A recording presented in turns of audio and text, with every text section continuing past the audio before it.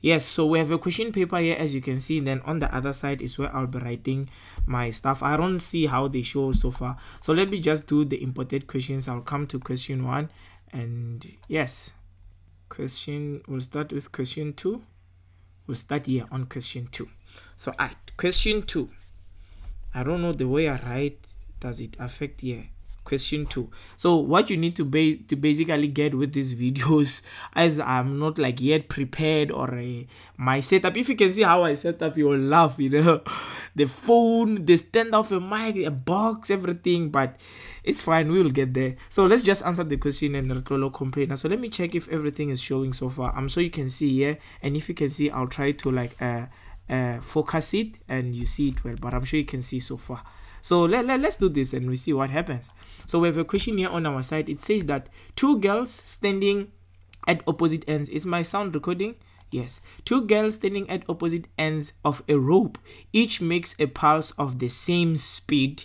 Okay, so it means pulse A and B, they are pulses of the same speed with an amplitude with an amplitude of 4 centimeter with an amplitude of 4 centimeter Pulse A with an amplitude of 4 centimeter moves to the right and pulse B with an amplitude of minus 6 centimeter moves to the left. The two pulses meet at point C. That's what we have so far. So let's answer the question. But I could say before you answer the question, it means like you need to ask yourself, like, what do you remember, or what what is it that here they'll be like talking about or discussing under waves? But what I can tell so far is I can see that pulse A and pulse B. Since they're moving in opposite direction this is going this direction this this direction. So it means at C obviously they're gonna meet as they say like they meet at point C. And something happens at point C. So let's let's answer the question follow up state the phenomenon observed when the two pulses meet at point C. So what is the phenomenon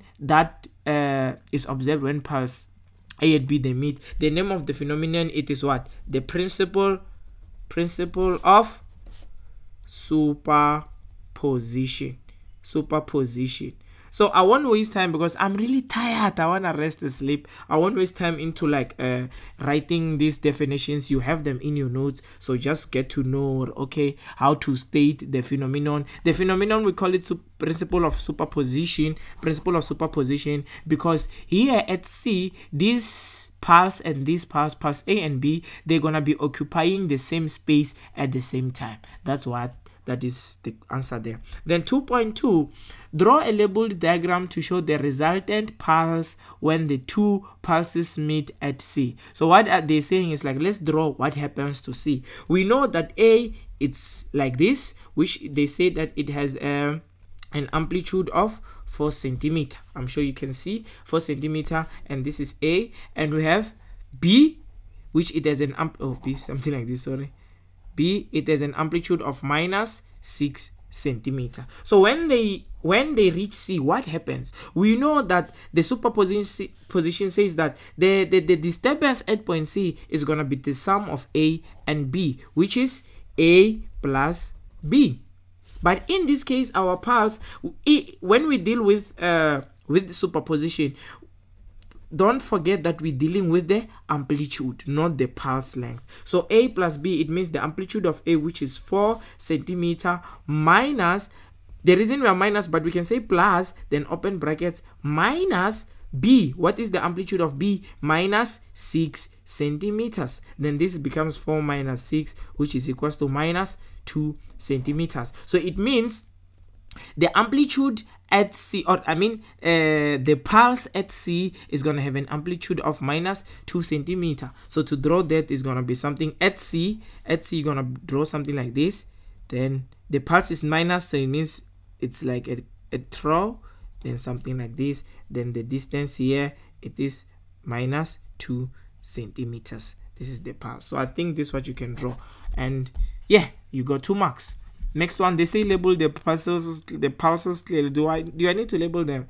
The amplitude, make sure you label the amplitude and label this is point C and this is A plus B or A minus B, something like that.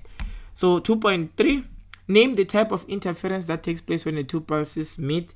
In 2.3, the type of interference. In superposition, we have two types of interference. We have what? Constructive, constructive and destructive boys. And destructive i mean and destructive. Constructive it is when two crests meet. Ne? Then destructive is when a crest and a trough meet because they're gonna distract each other or cancel out each other. This one they're gonna construct each other. 2.4 determine the resultant amplitude of the pulses at point c. So we already calculated that which is 4 minus 6 which is minus 2 centimeters. We already got that one. And how will the amplitude of pulse a be affected after passing point c? After a when it reaches c at c a and b they become one thing of which it becomes this pulse we answered in question 2.2 then in 2.5 what you're gonna say? It's okay after it reached C, A and B, after C, they both continue in their respective direction. They both continue in their respective direction and the same properties. So after C, A is going to have how many? It's going to have 4 centimeter amplitude and B is going to have minus 6 centimeter amplitude. So it means after C, they both continue in their normal places. So here, the amplitude of pulse A is going to remain the same. So yes that's how to answer this question uh, or if you come across this question. Yeah this question was basically under pulses and we were dealing about principle of superposition and yes. So all right let's go to question three. So question three the diagram below represents a water wave moving from left to right. So it's moving from left to right. The time between the two consecutive crests, it is 0.5 meters. So they mean a time between two consecutive crests. So it means a time from here, this crest to this crest it is how much 0.5 seconds so we can just claim in that this our period it is 0.5 second because between two consecutive crests that's a full wave from b to f that's a complete wave so if the time between these two is 0.5 seconds, then it means the period it is 0 0.5 second. So 3.1, 3.1, what type of wave is water wave? Obviously, that's gonna be what? Transverse wave. Transverse wave. 3.2, I thought I was gonna write on this, but I'm not writing, I'm just explaining because you already know this stuff. So 3.2, write down the amplitude of the wave. So the amplitude of the wave, it is the height of the pulse, not the height of the wave. So it means from where? From the equilibrium point, from the equilibrium point to the highest point or the lowest point. So it means from here to here or from here to here. So what do we see here?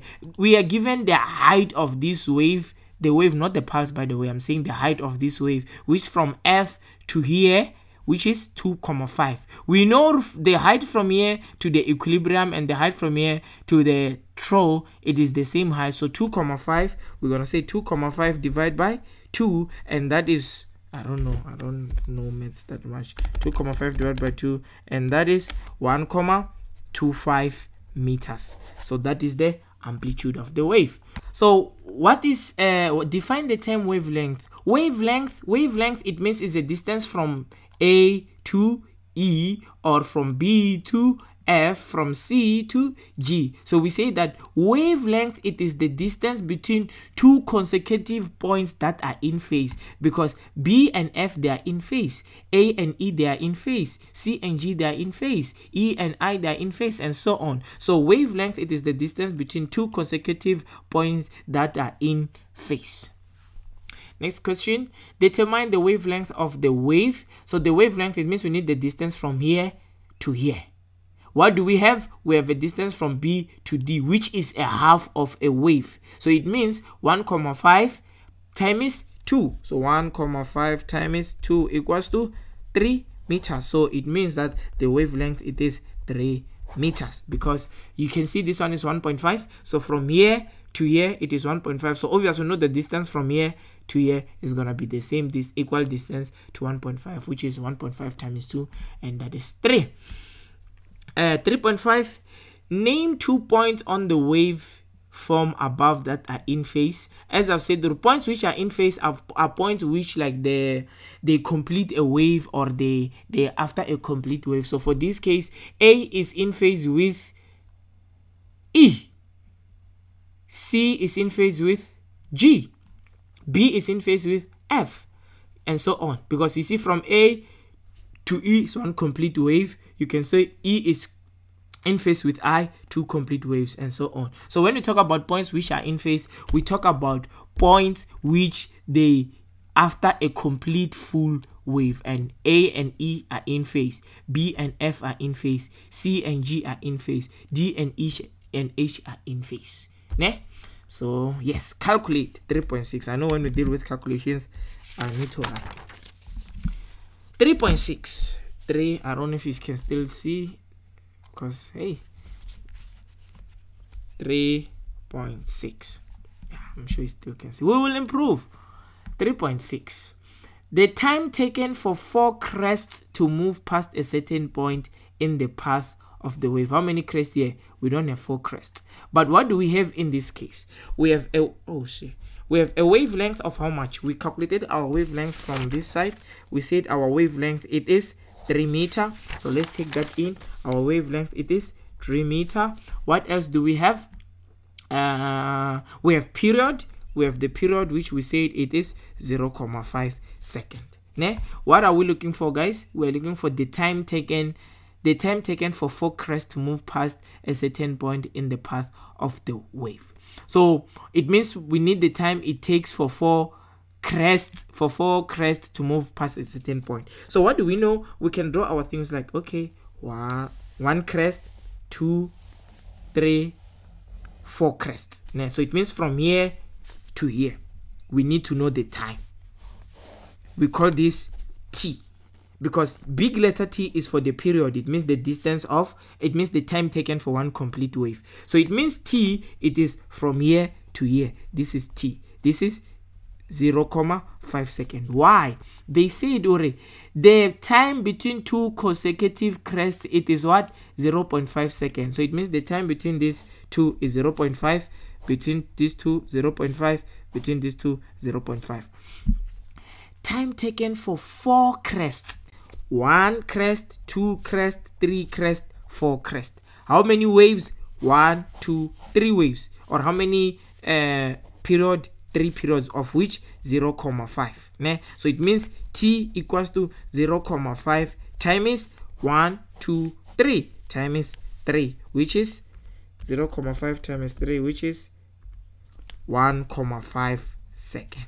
So this is the answer here. The answer here is 1, comma 5 second.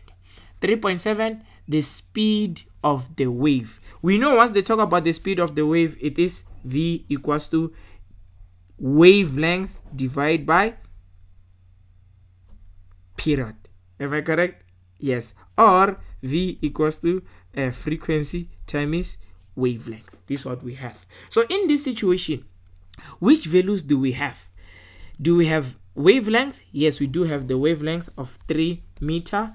Do we have period? Yes we have the period of 0 0.5 second. I will suggest or i will say advise don't use this t this is the t of four crest or three waves ne? Don't use this t. So it means v equals to wavelength divided by period. What is our wavelength? 3 what is our period? 0 comma 5 therefore 3 divided by 0 comma 5 it is equals to 6 meters per second.